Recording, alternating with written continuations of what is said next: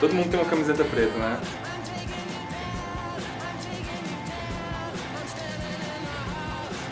Mas não é só isso.